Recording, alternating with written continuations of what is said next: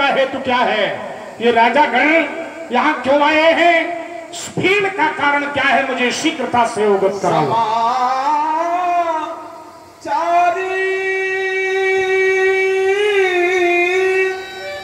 कई जनक यही कारण मही को सब आए। राम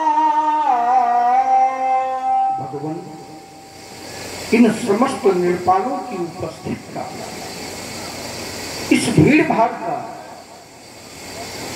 एकमात्र कारण जो अजगम था गुरु शंकर का था महाशक्ति प्रलयंकर का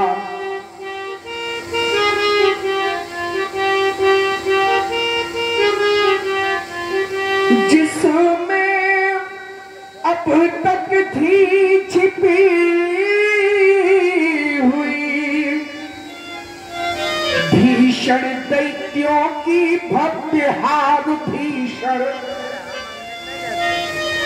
सीता वैवाहिक संस्कार। सीता वैवाहिक संस्कार था वही मेरे संरक्षण में। सीता अनन्य थी भक्तन में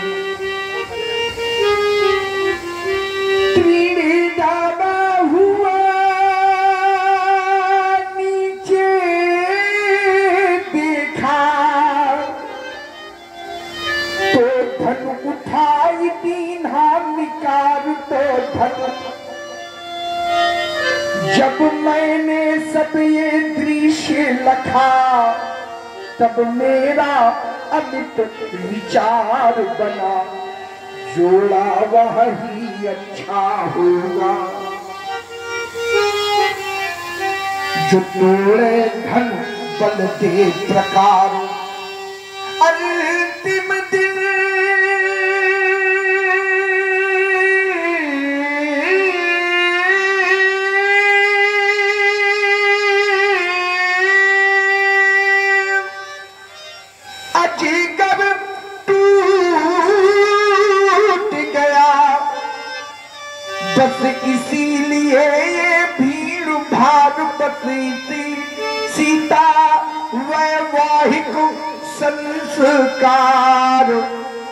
वैवाहिक संस्कार।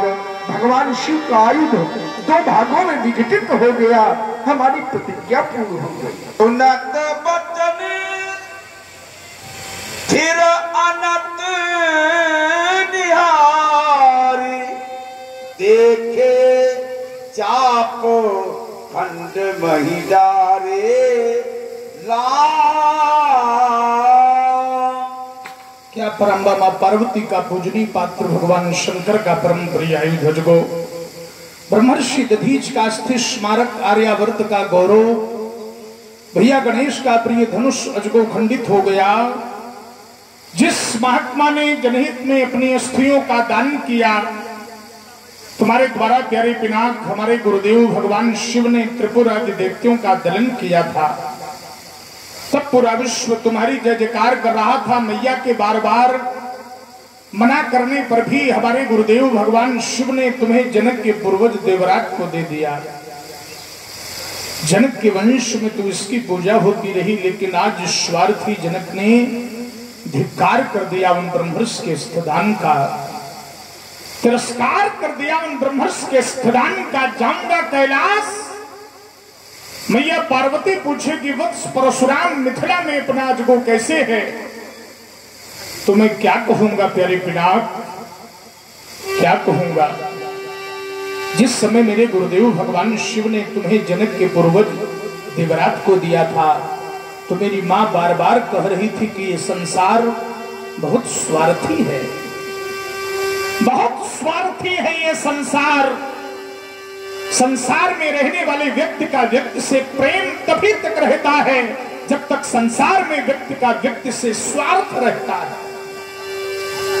और जब स्वार्थ समाप्त हो जाता है तो संसार की ये रीति है कि लोग एक दूसरे के प्रति प्रेम करना भी समाप्त कर देते हैं, प्यारे पिनाक समाप्त कर देते हैं, समाप्त कर देते हैं।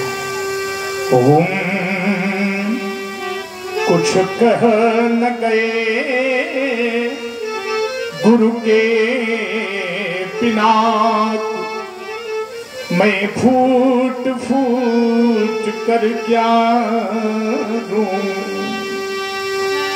ये बिखर गई हैं जो लड़िया। इनको मैं कैसे हाय पिरो अजगा तुमने जाना होगा। धनुखंडन हार मनुष्य को। अजगो तुमने देखा होगा। उस नर के हरी यशस्वी को। बोलो बोलो। बोलो बोलो, प्यारे बिना तुम हुए धराशाई कैसे? तुम पर रक्षित था सुरमंडल आन है विनशाई कैसे? आज जगो खुंड लख कर के हृदय पटता हमारा टूटने के पूर्व तुमने क्यों नहीं मुझको पुकारा? आज भारत भूमि पर नैराश्यतम है, छा गया। आर्य मानव वक्ष पर है, यह कौन वज्र चला गया। आशा कमलिनी।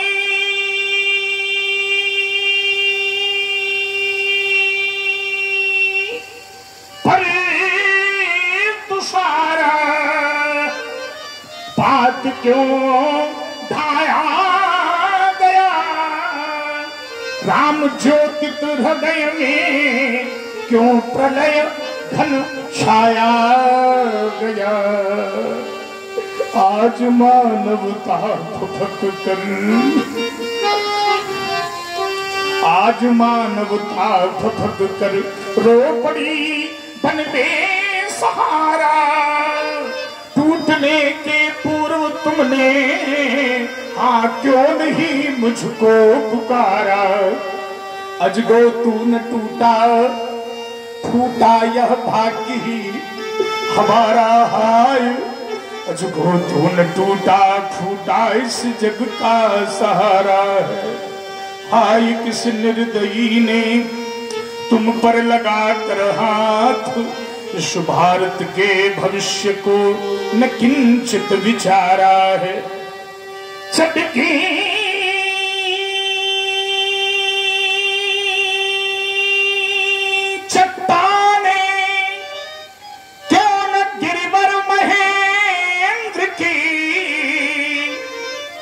अवश्य ही हुआ होगा। रब, ये भीषण करारा है। सूर्य, चंद्र, अवधि पर गिर क्यों नहीं गए? प्रलय मच जाती, किंतु धरा ने धैर्य धारा है। प्यारे पिनाक, आशुतोष के प्राण प्यारे। आशुतोष के प्राण, प्यारे माँ पार्वती के हृदय दुलारे। ये दुर्गति हो गई तुम्हारी, ये दुर्गति हो गई तुम्हारी। हाँ और न तुमने मुझे पुकारा। क्या मुझ पर विश्वास नहीं था? पहले भी जल था, जीवन था। धरती थी अंबर नंदन था। ज्ञान शक्ति वैभव कंचन था। वाल ही पर त्रिपुर दहन था। तुमसे पहले भी पतझड़ था। तुमसे पहले भी पतझड़ था।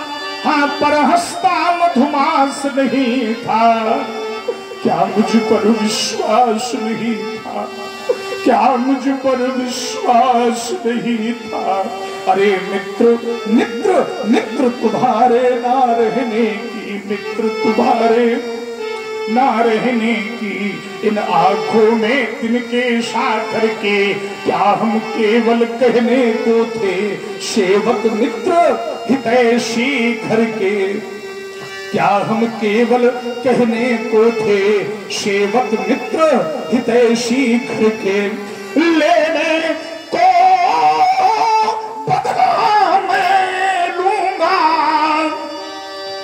शक्ति न कोई रोक सकेगी। यह शक्ति न कोई रोक सकेगी। पर अंतर मन में यह ज्वाला रह रह करके ही दहकेगी बैरी तोड़ गया तन तेरा, और मैं तेरे पास नहीं था। क्या मुझ पर विश्वास नहीं था? क्या मुझ पर विश्वास नहीं था।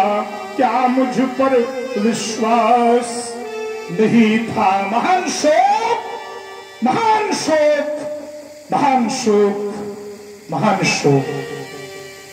आकर ऋषि बोले वचन कठोरा, कहू जड़ जनक धनुष कय तो। धनुष को तुड़वा करके मान खड़े हो गए हो।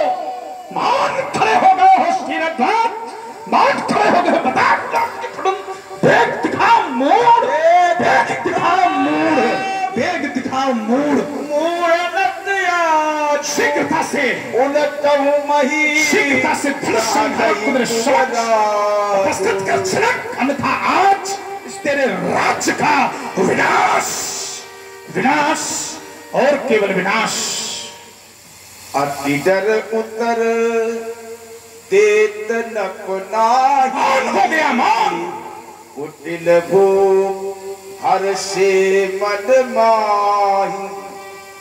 मन पछतात सीय महतारी।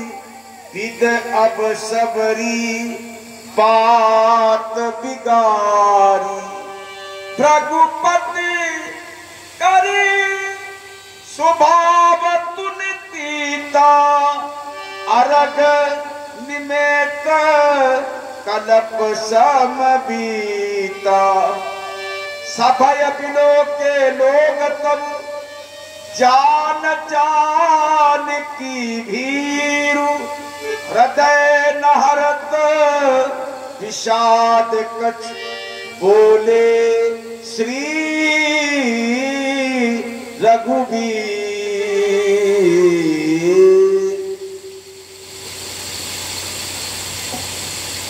हे भगवान शिव के इस पावन पुनीत आयुध का खंडन करने वाला कोई आपका एक दास ही होगा। हे नाम। धनुष तोड़ने वाला भी कोई शिव प्यारा ही होगा। जिसने वैसा अपराध किया वह दास आपका ही होगा। जिसने वैसा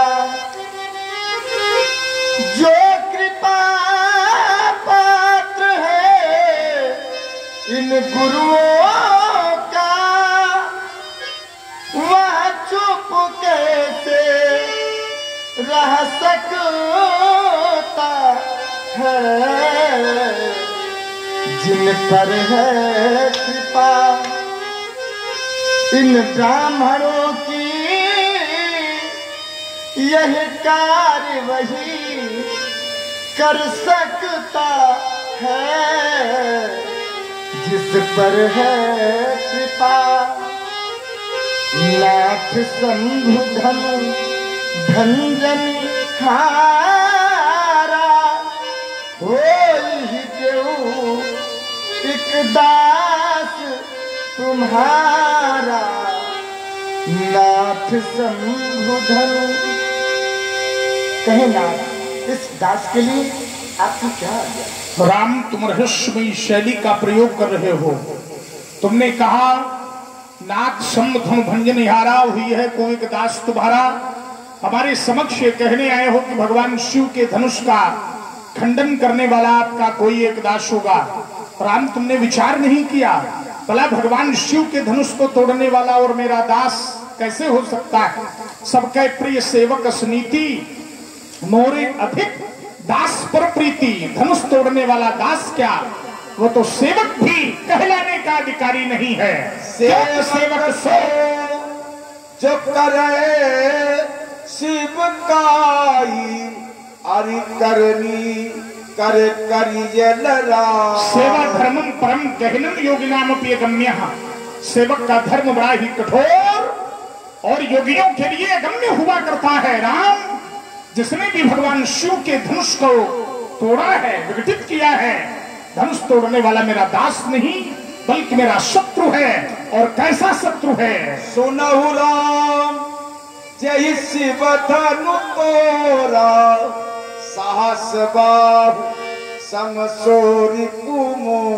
काकुत्स कुलभूषण राम राघव जिसने भी भगवान शिव के परम पुनीत आयुध अजगों का खंडन किया है वो धनुष तोड़ने वाला सहस्त्र बाहु अर्जुन के समान मेरा शत्रु है उसके समान मेरा रिपु है और उसके लिए मेरा एक निर्देश भी है। सो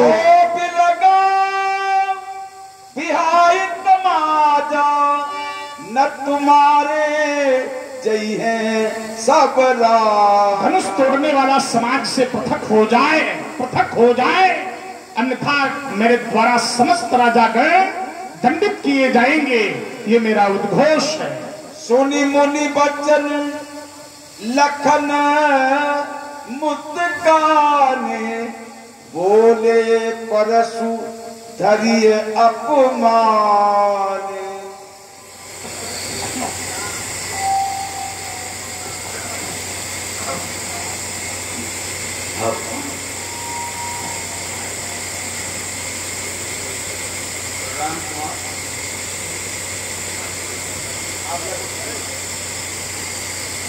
लीला का क्रम क्रमबद्ध करें।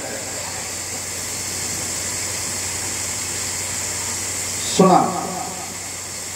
आप लोगों ने। धनुष तोड़ने वाले के विरोध में महात्मा परशुराम जी की यह घोषणा हो गई। यही शिवधन तोड़ा सहस बाहु संसोरित मोरा सौ बिगाव बिहार समाजा न तुम्हारे जई हैं सब राजा, धनुष तोड़ने वाला महात्मा परशुराम जी का शत्रु है, और वहाँ सोच लगाए, समाज से अलग हो जाए अगर धनुष तोड़ने वाले को समाज से अलग नहीं किया गया, उसका लगाव नहीं हुआ, उसको समाज से पृथक नहीं किया गया। घोषणा है, इन्नत मारे जी हैं सब सारे राजा मारे जाएँगे। जो ही इन्होंने यह घोषणा किया तो मेरा ध्यान इन राजाओं से हट करके सीधा इनकी ओर केंद्रित हो गया और मैं इनके शब्दों की एक मीमांसा करने लगा। तो मुझको एक समीचीन उत्तर मिला। मैं विचार यहाँ करने लगा कि अध्यासों नाम अतस्मिन तद बुद्धि आप जैसा विचार किया है कि यह जो जीव को कष्ट होता है, जिस कारण से कष्ट होता है तो क्या किसी के समाप्त हो जाने पर, क्या किसी के टूट जाने पर, क्या किसी के नष्ट हो जाने पर कष्ट होता है? ये जो शोक, मोह, क्रोध आदि विकारों की उत्पत्ति होती है तो क्या किसी के नष्ट हो जाने पर क्या किसी के टूट जाने पर, क्या किसी के समाप्त हो जाने पर होती है? अरे ना, कभी सोचिए, इसमें विचार करिएगा। किसी के नष्ट हो जाने पर, किसी के टूट जाने पर, किसी के समाप्त हो जाने पर जीव को कष्ट नहीं हो सकता है। जब कष्ट क्यों होता है? किस कारण से होता है? जब हम मन का अपने तादाद में संसार में स्थापित कर लेते हैं मन को संसार से जोड़ लेते हैं, मन को संसार से संबंधित कर लेते हैं तो हमको कष्ट होने लगता है। और इसी मन को जब हम परमात्मा से जोड़ लेते हैं, परमात्मा से तादाद कर लेते हैं तो हम उसी क्षण कष्ट से मुक्त हो जाते हैं और सुख को उपलब्ध हो जाते हैं। तो मैं विचार करने लगा कि आप जैसा ब्रह्मनिष्ठ महात्मा, आप जैसा ज्ञान निष्ठ महात्मा, आप जैसा आत्मनिष्ठ महात्मा, जिसने अहम ब्रह्मासु एवात्मा ब्रह्म प्रज्ञानम ब्रह्म तत्वमस्का जिसने साक्षात्कार किया हो, और उसका मन सांसारिक पदार्थों में, सांसारिक वस्तुओं के नष्ट हो जाने से, सांसारिक पदार्थों के नष्ट हो जाने से, जिसने अपने मन को संसार में कल्पित कर लिया है, संसार में जिसने तादाद में स्थापित कर लिया है, ये बात हमारे समझ में आ नहीं रही क्यों? क्योंकि मने और मनुष्याणाम कारणम बंध मोक्षयो मन ही बंधन में डालता है, और मन ही संसार में मोक्ष में डालता है। और जब मन को संसार से हम संबंधित करते हैं, संसार से जोड़ते हैं तो इसी को हम कहते हैं बंधन। और जब मन को परमात्मा में स्थापित कर देते हैं, परमात्मा से जोड़ देते हैं तो इसी को हम कहते हैं मुक्ति। तो ये जो आपने मन को संसार से, संसारिक पदार्थों से स्थापित कर लिया है। आप जैसे ब्रह्मनिष्ठ महात्मा के हृदय में ऐसा नहीं होना चाहिए। क्यों? क्योंकि यह माया के एक गुण के द्वारा होता है। जब यह जीव माया से आच्छादित हो जाता है, माया से युक्त हो जाता है अज्ञा से युक्त हो जाता है तो माया के कारण इस अनित्य संसार को भी हम नित्य मानने लगते हैं। इस असत्य संसार को भी हम सत्य मानने लगते हैं। इस अनात्म संसार में भी आत्मदर्शन करने लगते हैं। क्यों? क्योंकि माया की एक शक्ति है, विक्षेप शक्ति। तीन शक्तियाँ हैं माया की, मल, विक्षेप और आवरण। तो जब हम विक्षेप शक्ति से माया की घिर जाते हैं तो इस अनात्म संसार को, इस अनित्य संसार को, इस अनित असत्य संसार को भी हम सत्य स्वीकार करने लगते हैं। वेदांतवादियों ने तीन सत्ताएँ मानी हैं। व्यवहारिक सत्ता और प्रतिभाषिक सत्ता और पारमार्थिक सत्ता। तो प्रतिभाषिक सत्ता हम उसे कहते हैं, जो संसार में क्षण भर के लिए ये वस्तुएँ प्रकट होती हैं। बंध जाते हैं। जैसे स्वप्न में हम रस्सी को देखते हैं और उसको सत्य मान लेते हैं और जागृत अवस्था होने के बाद हम उसके सत्य को जान लेते हैं।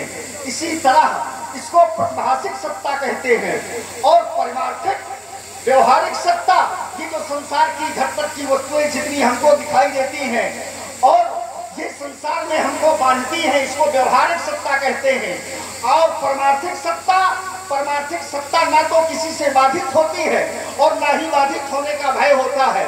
तो जब हम परमार्थिक सत्ता से ये शुद्ध सच्चिदानंद की सत्ता है तो इससे युक्त तो होते हैं तो संसार हमको असत्य दिखाई देता है और हमारे हृदय स्थल में ये व्याप्त हो जाता है कि ब्रह्म सत्यम जगन मिथ्या।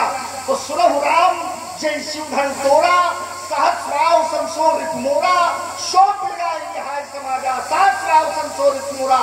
आप जैसे ब्रह्मनिष्ठ महात्मा के हृदय स्थल में अगर यहाँ व्याप्त हो जाए तो ये बात हमारे कुछ समझ में आ नहीं रही है। बड़ा क्रोध है। लेकिन क्रोध का कारण क्या मात्र धनुष का टूट जाना है?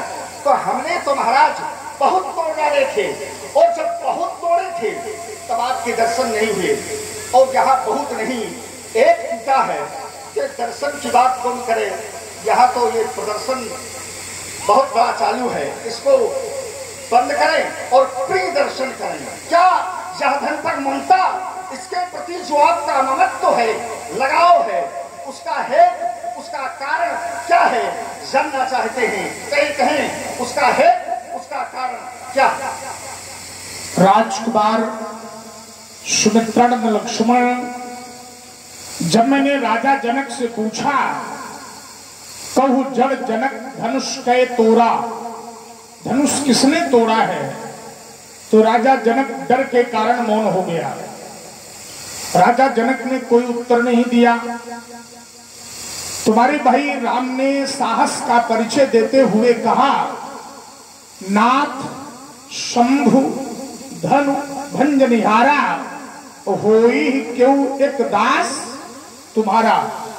हे नाथ, भगवान शिव के धनुष को तोड़ने वाला आपका कोई एक दास होगा। आय सुकाह कही किन मोही, क्या आज्ञा है? आप मुझसे क्यों नहीं कहते?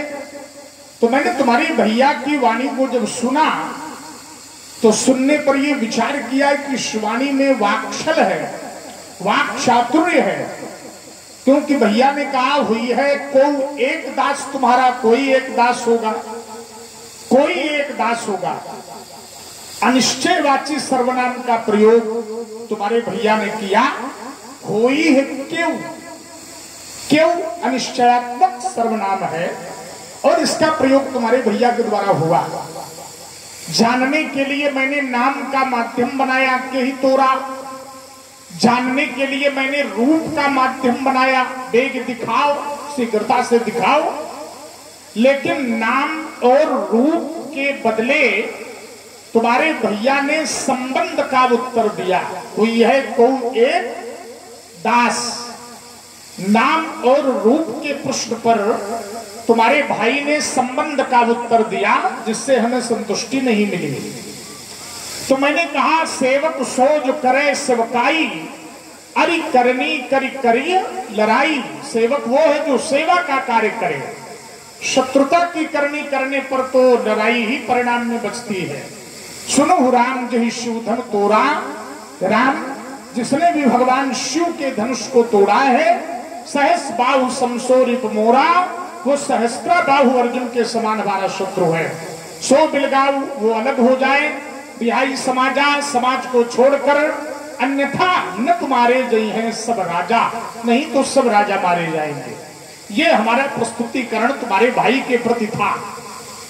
अब तुम खड़े हुए तो तुमने कहा कि परशुराम जी, जीव को कष्ट तब होता है जब वह अपना मन संसार से जोड़ लेता है। तादाद जब संसार से स्थापित कर लेता है, अपने मन को जब संसार से जोड़ लेता है तो उसको कष्ट होता है। क्या किसी के टूट जाने पर कष्ट होता है? क्या किसी के समाप्त हो जाने पर कष्ट होता है? लक्ष्मण ने कहा, नहीं, टूट जाने पर नहीं, नष्ट होने पर नहीं, मरने पर नहीं, हानि पर नहीं। कष्ट कब होता है? जब हम अपने मन को संसार से जोड़ लेते हैं, तब कष्ट होता है। लेकिन यहाँ पर एक बात विचारणीय है, राजकुमार। मैंने अपने मन को संसार से नहीं, अपितु शिव से जोड़ा है। ये धनुष सांसारिक नहीं है, या ये कहे था, ये धनुष सांसारिक नहीं था। किसका था? भगवान शिव का। और एक बात, तुम्हारी पूरी प्रस्तुति का उत्तर हम दो बिंदुओं में, दो शब्दों में देना चाहते हैं, ताकि वार्ता में सरसता बनी रहे और छोटी छोटी बातों में हमारे और तुम्हारे बीच में वार्ता हो, है ना? बड़े सूक्ष्म बिंदुओं में, ताकि उसका निर्णय भी होता चले। दो शब्दों में उत्तर लीजिए इसका। तुम्हारी बात जो है, धनुष के कारण शिव नहीं है। बल्कि शिव के कारण धनुष है। संसार की किसी वस्तु के नष्ट हो जाने पर मेरा क्रोध नहीं है। सांसारिक वस्तु के समाप्त हो जाने पर मेरा क्रोध नहीं है। बल्कि भगवान शिव के धनुष के तोड़े जाने पर मेरा क्रोध है। और शिव सांसारिक नहीं है।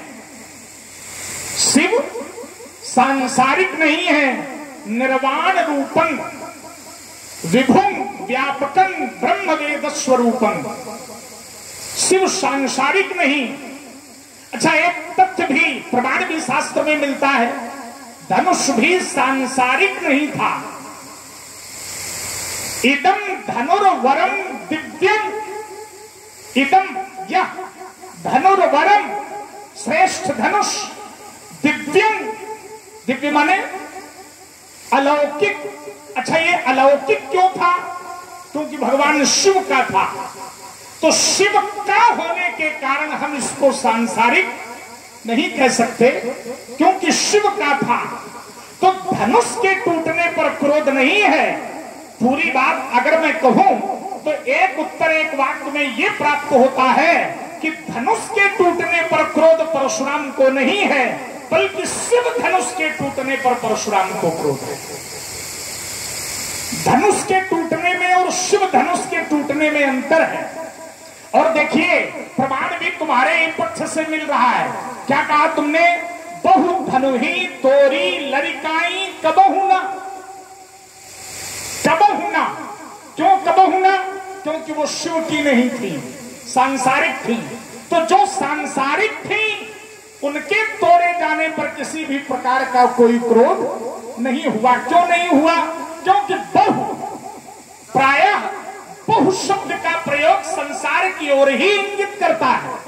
ये तो तुम्हारी बात ही हमारे तथ्य का मंडन कर रही है कि बहु शब्द संसार की ओर इंगित कर रहा है। तो जब सांसारिक वस्तु तोड़ी गई या सांसारिक वस्तुओं का विनाश हुआ या बहुत धनुयों का विनाश हुआ तो परशुराम ने क्रोध नहीं किया।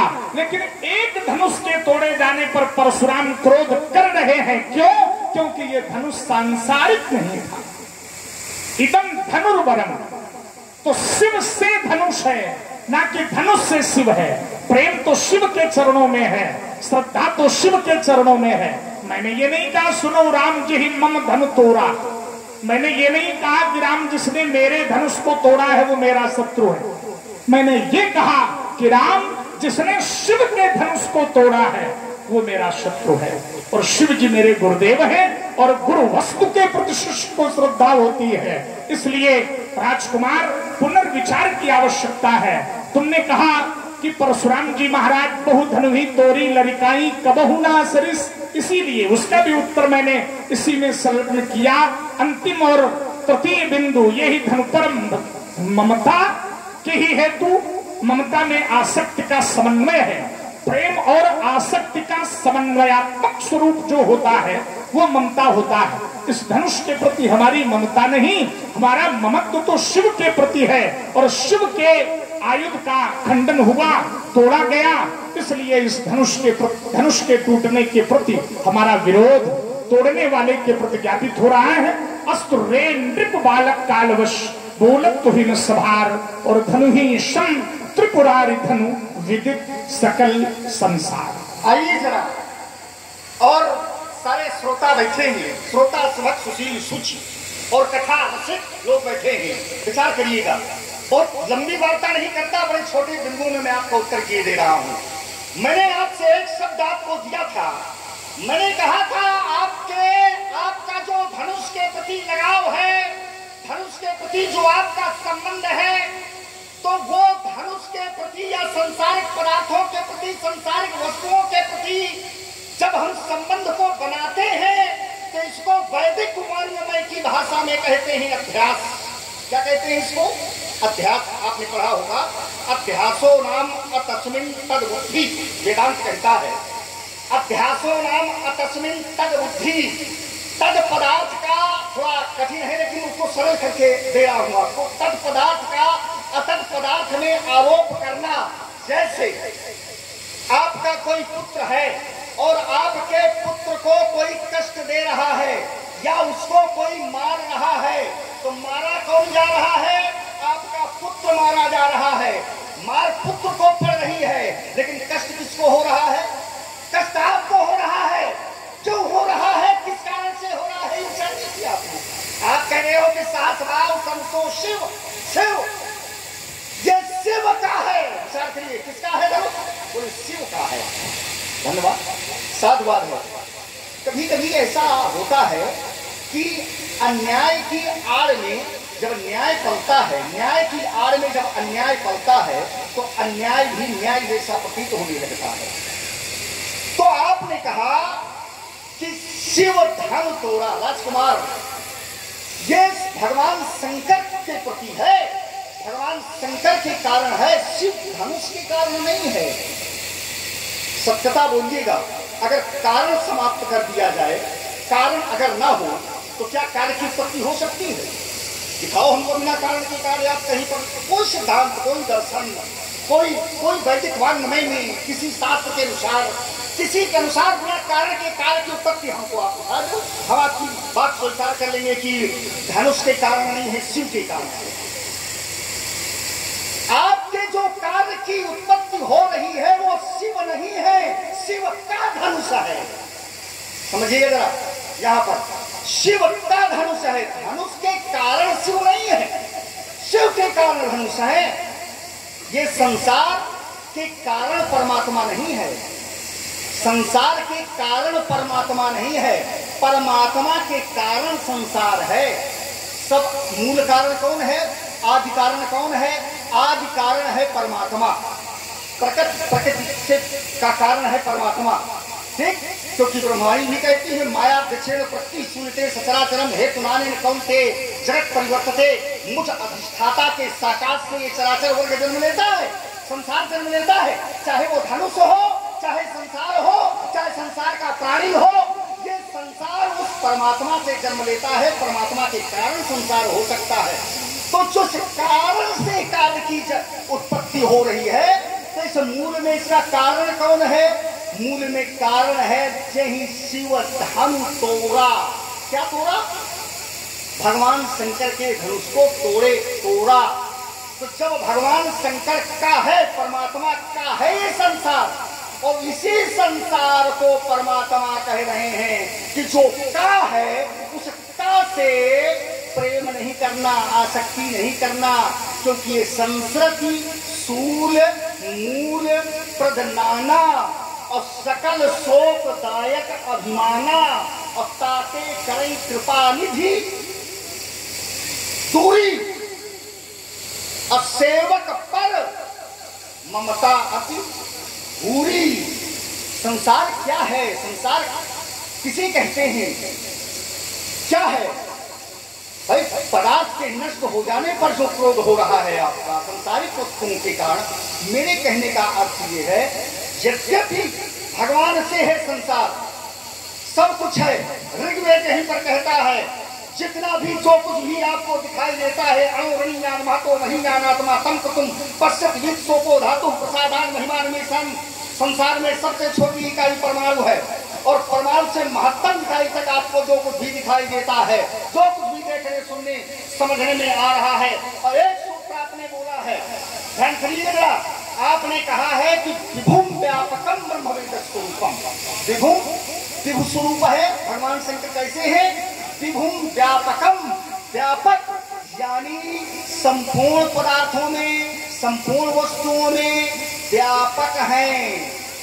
तो जो व्यापक है संसार में, उसको व्यक्तिगत किसी के टूट जाने पर आपका ये जो क्रोध हो रहा है यह अध्यास के कारण, अध्यारोप के कारण हो रहा है, क्योंकि यह माया की शक्ति से जीव जब आच्छादित हो जाता है, आवरण शक्ति है एक तो एक ही स्थान पर पड़ी हुई वस्तु उसको अलग दिखाई देती है। जैसे हम रास्ते में जा रहे हैं, पड़ी रस्सी है तो रस्सी नहीं हमको, वो सर्प प्रतीत होता है अंधेरे में। रजत दीप महाभास जिन जथा भान कर मारी। तो असभ्रम, ऐसा भ्रम कब मिटता है? जब परमात्मा की कृपा होती है जीव पर।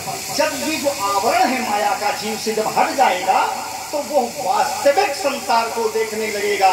तो फिर उसकी स्थिति हो जाती है कि बीतराग भय को स्थिर मनुष्य इसलिए ये जो प्रज्ञा है, इसको प्रतिष्ठित करने की आवश्यकता है। जब बुद्धि स्थिर हो जाएगी स्थिर प्रज्ञ का भाषा समाधि केशवा, स्थिति प्रभाषित सीमासे प्रदेश तो जब स्थित प्रज्ञ योगी हो जाता है, स्थिर बुद्धि हो जाती है तो फिर वो ना तो किसी के टूट जाने पर शोक करता है, ना ही मोह करता है, ना ही क्रोध करता है, ना ही द्वेष करता है। कि महाराज, कहीं न कहीं अगर इससे लगाव है तो भले ही आप आज भगवान शंकर का है, भगवान शंकर के सभी हैं विभुम व्यापकम आपने बता ही दिया है, और अगर व्यापक है संसार में तो सब है, फिर उसको व्यक्ति विशेष नहीं किया जा सकता है, अलग से नहीं किया जा सकता है। इसलिए मैं कहता हूँ, कहीं ना कहीं इसमें विचारणीय विषय है, और इसको विचार करने की आवश्यकता है, मैं अलविदा तुमने कहा कि यदि आपके पुत्र को कोई दंडित करे या कोई मारे, कष्ट दे तो पुत्र के दंडित करने पर माने पुत्र मारा जा रहा है, बेटा दंडित किया जा रहा है तो दंड बेटे को मिल रहा है, लेकिन कष्ट पिता को हो रहा है।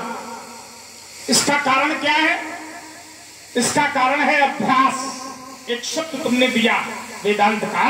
अभ्यास गलत पहचान का मामला, है ना? गलत पहचान, अभ्यास। तो एक बात फिर मैं उसकी पुनरावृत्ति करूँगा यदि कुछ बातें हमारी तुमने कही। और एक वाक्य में मैंने उत्तर देने का प्रयास किया था और उसकी आवृत्ति भी तुमने की। हमने कहा कि शिव से धनुष है, ना कि धनुष से शिव है।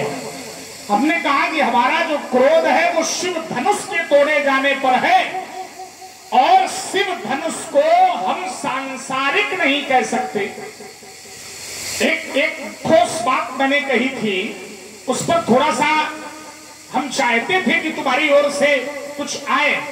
और मैंने कहा भी था कि शिव धनुष जो है, वो इदम धनुर्वरम श्रेष्ठ धनुष, और कैसा है? दिव्यम।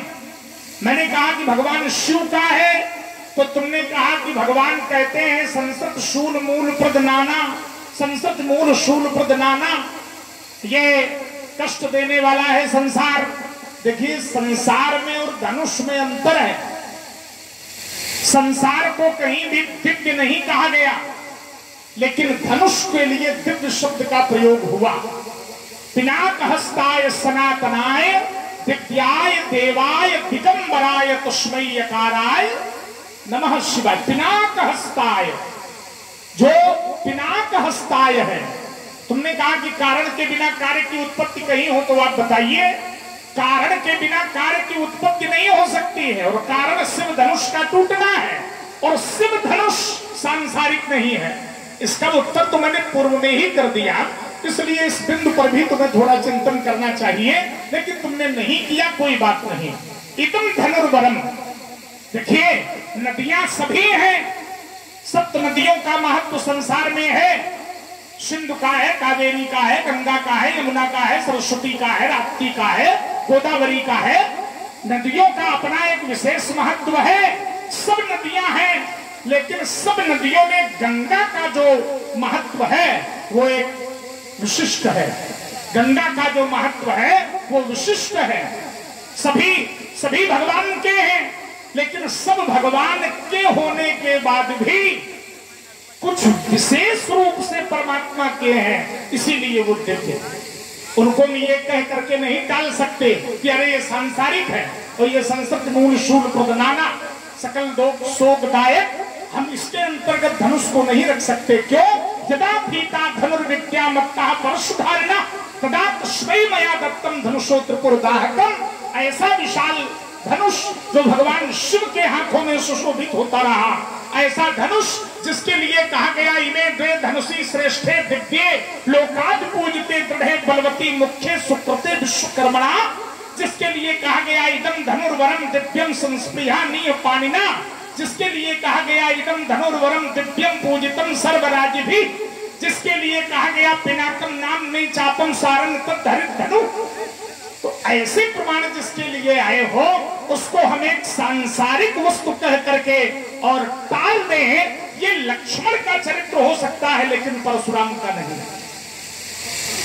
भगवान शिव के धनुष को हम केवल ये कह करके टाल दें कि अरे वो तो सांसारिक था, उसके टूट जाने पर कैसा क्रोध, कैसा मोह, कैसा लोग ये कहकर हम नहीं निकल सकते, नहीं बच सकते। क्यों? क्योंकि शिव धनु के प्रति परशुराम की श्रद्धा है। तुम कहो, तुम्हारा विषय है, तुम्हारा अपना मुख है, ये तुम्हारा अपना चिंतन है, तुम्हारा अपना व्यक्तिगत विचार है, लेकिन परशुराम के लिए शिव धनुष केवल एक वस्तु नहीं है। हम शिव धनुष को वस्तु नहीं कह सकते। इस पर भी आप चिंतन करें। शिव धनुष को हम वस्तु नहीं कह सकते। ये महात्मा कृषाश्व के पुत्र हैं। और ये महात्मा कृषाश्व के पुत्र, कैसे पुत्र हैं? जो दिव्य पुत्र हैं, जिनका दिव्य अवतरण हुआ है। और ऐसे दिव्य अवतारी धनुष को जो भगवान शिव का है, उसको आप सामान्य कहकर, सांसारिक कहकर धनुष की महत्ता को घटाएँ मत। हाँ तोड़ने वाले ने धनुष को तोड़ दिया। तुम्हारी दृष्टि में धनुष तोड़ने वाला महत्वशील है।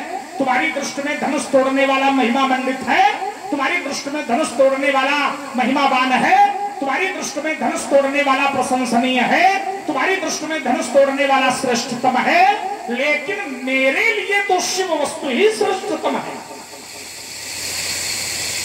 गुरु वाक्य सुवचने सुशास्त्रद्धा संयुक्त उच्चते आचार्य कहते हैं सुश्रूषा श्रवणम शैव ग्रहणम धारणम तथा आचार्य कहते हैं, शास्त्र कहता है तो गुरु वस्तु के प्रति, गुरु हाथों में सुशोभित रहने वाली वस्तु के प्रति हम केवल ऐसी मान्यता बना ले कि ये संसार की सामान्य वस्तु है, सांसारिक वस्तु है तो ऐसा मानना भी शिष्य के लिए पाप है। ऐसा मानना भी शिष्य के लिए अपराध है। ऐसा मानना भी शिष्य का कर्तव्य नहीं है। ये शिष्य का दायित्व नहीं है। और मैं भगवान शिव का शिष्य हूँ और भगवान शिव के शिष्य होने के कारण मैंने कहा, सुनो राम धन तोरा, सहस बाहु समसोरित मोरा, सो बिलगाऊ बिहाई समाजा, न तुम्हारे जय हैं सब राजा। तो हम इसको केवल ये नहीं कह सकते कि राजकुमार एक सांसारिक सामान्य वस्तु है। ऐसा कहकर हम शिव धनुष की महिमा को कम नहीं कर सकते, घटा नहीं सकते। इसलिए मैंने कहा, जय शिव धनु तोरा, सहस बाहु समसोरित मोरा। है? अपनत्व है, लेकिन वो अपनत्व भी श्रद्धा के रूप में है। वो अपनत्व भी समर्पण के रूप में है। वो अपनत्व भी, वो अपनत्व भी शिव सेवा के रूप में है। जैसे तुम अपनी सेवा को, धनुष तोड़ने वाले के प्रति सेवा भाव को हमारे विरोध में लेकर के प्रस्तुत कर रहे हो। इसी तरह से धनुष के तोड़े जाने पर शिव सेवा को मैं धनुष तोड़ने वाले के विरोध में ज्ञापित करके प्रस्तुत कर रहा आइए यही भाव है उसका। जैसे तुम कह रहे हो, सुनी मुनि बचन लखन मुस्काने और बोले, परश धरे अपमाने। तो परश धरे अपमाने क्यों? क्योंकि मैंने कहा, सहस बाबू समसोरिप मोरा। है ना? सहस बाबू समसोरिप मोरा। तब बोले, परशु धरे अपमाने। और तोड़ने वाले ने धनुष को शत्रुता की दृष्टि से देखा, शत्रुता की दृष्टि से तोड़ा, उसका विनाश किया। तो ऐसे शिव धनुष को तोड़ने वाले के प्रति हमारा ये विरोध क्यों हो? हमारा ये क्रोध क्यों न हो? और ऐसा कहकर कि ये केवल सामान्य वस्तु है, ये शिव का है, सांसारिक है, ऐसा कहकर हम शिव के धनुष की महिमा को, शिव धनुष के महत्व को कम नहीं मान सकते, घटा नहीं सकते, इसलिए मैं इसे स्वीकार नहीं करता। शरीर महाराज, और भी लोग हैं, जरा विचार करिए बहुत। आपने एक शब्द दिया बोले, सामान्य कह करके मैं उसका मान नहीं कर सकता। मैंने सामान्य नहीं कहा था उसको विशिष्ट हो सकता है संसार के कोई भी व्यक्ति यहाँ तक जीवन मुक्त मोमोक्ष, साधक, जितने हैं आचार्य योगी जन बड़े बड़े, साधक बड़े बड़े, मोमोक्ष बड़े बड़े जीवन मुक्त ध्यान करिए जरा सामान्य नहीं, सामान्य कहने से अर्थ नहीं है मेरा। संसार में कोई भी वस्तु सामान्य नहीं है।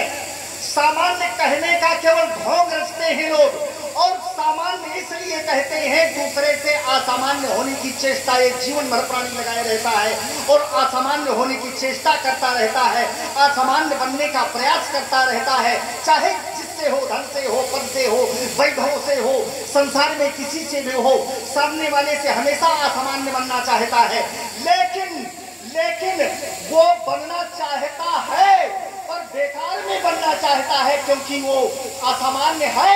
सबके हृदय में परमात्मा बैठा हुआ है। उससे बड़ा असामान्य क्या हो सकता है? ईश्वर सर्वभूता नाम हृदय से अर्जुन से ईश्वर सर्वभूता नाम सबके हृदय में परमात्मा बैठा है। और उससे बड़ा संसार में आसमान बनने का प्रयास नहीं करना। आसमान प्रकृति का नियम नहीं है। ये प्रकृति ही पूरी प्रकृति संसार में दिखाई देती है। सांख्य कहता है प्रकृति स्वाम तथ्य ये प्रकृति ईश्वर का स्वरूप है। ये कैसा है? बोले अग जग रूप रूप सीता भर। ये संसार कैसा है? परमात्मा का रूप है। परमात्मा समाहित है इसमें। परमात्मा का एक प्रकार है। तो ये सामान्य नहीं है। इसलिए मैं सामान्य नहीं कह रहा। विशिष्ट तो हो सकता है, श्रेष्ठ तो हो सकता है, सब कुछ हो सकता है। नित्य नहीं हो सकता। इस बात को समझो जरा। नित्य क्या है? जैसे आपने एक शिव शब्द दिया है। आपने कहा धनुष दिव्य है। समझिएगा, सारे लोग बैठे आपने कहा धनुष दिव्य है। तो दिव्य क्या है? दिव्य हम किसे कहते हैं? दिव्य शब्द की जब हम व्युत्पत्ति करते हैं तो यहाँ बहुत सारे व्याकरण के जानकार लोग भी बैठे हैं। और हमने सुना है, बड़ा विज्ञ समाज है विज्ञ लोग हैं। सारे, दिव्य है क्या? किसको कहते हैं दिव्य? भाई, इसकी व्युत्पत्ति करिए जरा। कैसे करेंगे व्युत्पत्ति आप दिव्य शब्द को हमको परिभाषित करना है, दिव्य कहना है। तो दिव्य का धनुष धनुष के लिए कहा गया, जैसे कहा गया, दिव्य वसन भूषण कई जगह दिव्य शब्द का प्रयोग किया गया है। तो दिव्य क्या है, देखिए जरा। दिव्य शब्द की जब हम व्युत्पत्ति करते हैं तो दिव्य शब्द में भूष शुद्धेशु पदार्थो भाव भूष शुद्धेशु पदार्थो भाव। दिव्य वह है, जैसे मैं एक आपको उदाहरण दे रहा हूँ। जैसे ये आपको जलता हुआ दिखाई दे रहा है। तो इसमें दिव्य है क्या? प्रकाश। इसमें दिव्य क्या है? इसका जो बाहरी स्वरूप आपको दिखाई दे रहा है, यह दिव्य नहीं है। धनुष का बाहरी स्वरूप ये दिव्य नहीं है। इसमें जो प्रकाश आपको दिखाई दे रहा है, ये दिव्य है। इसको हम दिव्य कहते हैं। यानी प्रकट्यादि पदार्थों में जो व्याप्त है उसको सिद्ध कहा जाता है। और जो प्रकृति में व्याप्त है, उसको दिव्य कहा जाता है। उस दिव्य के लिए शास्त्र कहता है, ना जायते मृगते कदाचिन्नायम भूतवा भरता अजो नित्यम शास्त्रम न हन्यते हनुमाने शरीरे शरीर का विनाश हो जाने पर भी दिव्य का विनाश नहीं होता है। अक्षय दो आयंदा हो अक्षय दो अथोत्य ऊँचा नित्य सर्वगत स्थान चलोयम सनातन। वो नित्य है, सनातन है। उस नित्य का कौन संसार में समाप्त कर सकता है उसकी? उसको आप कैसे नष्ट कर सकते हैं? किस प्रकार उसको नष्ट करेंगे? क्योंकि तो अक्षय दो अयम हो अकरे दो अशोक एव चा नित्य सर्वगत स्थान चलोयन सनातन।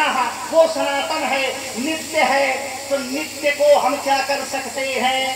एक सूत्र फिर यहाँ पर ए, कहा गया कि क्रोधा किसके लिए कर रहे नास्तो विद्यते भाव ना ए, नास्तो विद्यते भाव ना भाव विद्यते सदा। असत्य की सत्ता नहीं और सत्य का अभाव नहीं। फिर समझिए जरा इस बात को। जो है जो है जो भी कुछ आपको दिखाई सुनाई पड़ रहा है उसका विनाश नहीं। ब्रह्मा की सृष्टि में यानी स्वयं परमात्मा भी उसका नाश नहीं कर सकता। समझ लीजिएगा इस वाक्य को। जो है, उसका विनाश नहीं हो सकता, और जो नहीं है, वो है ही नहीं। उसके लिए क्या शोक मोह क्रोध करना? जो है ही नहीं। जिसकी सत्ता ही नहीं है, जिसकी सत्ता नहीं है, जो नहीं है, उसके लिए क्या शोक मोह करना? और जो है, उसका विनाश नहीं हो सकता, उसको नष्ट नहीं किया जा सकता। किसी भी प्रकृति के तत्व के द्वारा कोई भी नहीं नष्ट कर सकता है। क्योंकि आप तो आनंद स्वरूप हैं। अब देखिए, आपने कहा कि तैतृय उपनिषद फिर यहाँ कह रहा है कि आनंद ब्रह्म हो जाना। आनंद खरीमान भूतान जयंते आनंद जातान जीवंती, आनंद पर्यंत विषम संति ये आनंद को संपूर्ण प्राणी प्राप्त करना चाहते हैं। और आप ब्रह्मनिष्ठ महात्मा है, आत्मनिष्ठ है। जिस कारण से कारण हुआ है जिस कारण से कार्य हुआ है, इस कारण को देख करके ही ज्ञानी जन बड़े बड़े आचार्य बड़े, ऋषि बड़े, महात्मा मोहित तो होते हैं। जो कुछ भी आपको दिखाई सुनाई पड़ रहा है, संसार में आपने कहा, मैं इसको वस्तु नहीं कह सकता। अगर ये वस्तु नहीं है तो क्या है फिर? क्या है? आप जानते हैं वस्तु क्या है, पदार्थ क्या है? पदार्थ कितने प्रकार के होते हैं? पदार्थ किसे कहते हैं हम? इसके लिए हमको दर्शन का दर्शन में प्रवेश करना पड़ेगा, दर्शन की जानकारी करना पड़ेगा, दर्शन को देखना पड़ेगा। देखिए, फिर मीमांसा दर्शन पदार्थों की व्याख्या कर रहा है। क्या कर रहा है? ध्यान करिए, दो प्रकार के पदार्थ होते हैं। एक भाव, एक अभाव। भाव के छह भेद होते हैं। द्रव्य गुण कर्म सामान्य विशेष और समवाय ये छह गुण है द्रव्य के। अभाव के तीन गुण तीन प्रकार का संसर्गा भाव अन्योन्या भाव ये सब सुना किसको रहे हो तुम? देखो हम नहीं बोलते हैं। नहीं, ठीक है अच्छी बात है। लेकिन ये क्यों सुना रहे हो? इसलिए इसलिए कि आपने कहा है मैं अलग से कुछ नहीं सुनाता। मेरी आदत ये नहीं है कि मैं प्रसंग से हट करके कुछ सुनाऊं। आपने इसको कहा कि मैं इसको वस्तु नहीं मानता केवल। इसलिए मैं आपको बता रहा हूँ कि वस्तु के सिवा ये कुछ भी नहीं है इसको समाज में देखना पड़ेगा इसलिए सुना रहा हूँ। बाकी कोई मैं आपकी बात न काट रहा हूँ मैं केवल अपना मत दे रहा हूँ। अच्छा मैं विपक्ष की धरती पर खड़ा हूँ तो कुछ ना कुछ तो मैं बोलूँगा कुछ ना कुछ तो मैं प्रयोग करूँगा क्योंकि मैं विपक्ष की धरती में हूँ आपकी पक्ष तो हूँ नहीं। तो मैं अपना अच्छा मेरी एक आदत है मैं अगर विपक्ष में हूँ तो समर्थन नहीं हो सकता। समर्थन किस बात का भाई? समर्थन थोड़े करूँगा। मैं इसलिए सुना रहा हूँ, और आपके जो शब्द आएँगे, मैं उसी में बोलने का प्रयास करूँगा। मैं बाल बुद्धि, अपनी बुद्धि के अनुसार मैं उसको हल करने का प्रयास करूँगा। और मैं अलग से कुछ नहीं दूँगा आपको ना ही अलग से मेरी बोलने की आदत है। मैं थोड़े शब्दों पर बोलूँगा आपको दे दूँगा। तो अभाव के तीन प्रकार होते हैं। संसर्गा भाव अन्योन्या भाव अत्यंता भाव और फिर अभाव के यानी संसर्गा भाव के तीन भेद हो गए। प्राग्ञ भाव प्रध्वंसा भाव अत्यंता भाव तो संसार में जितनी वस्तुएँ आपको दिखाई पड़ रही हैं, जहाँ तक मन की गति है, जो कुछ भी दिखाई पड़ रहा है, उनको एक संज्ञा दी गई है, पदस्य अर्थ पदार्थ। यानी पद के अर्थ शब्द का अर्थ यहाँ इंद्रियों से लिया गया है। इंद्रिय गम्य, इंद्रियों के द्वारा जो कुछ भी दिखाई दे रहा है, जिनका हमें ज्ञान हो सकता है, पदार्थ का सिद्धांत चंद्रोदय में एक लक्षण और बताया गया है, वस्तु का अभिधेयत्म पदार्थ लक्षण पदार्थ, सामान्य लक्षण अभिधेयत्व, जिनका हमको ज्ञान हो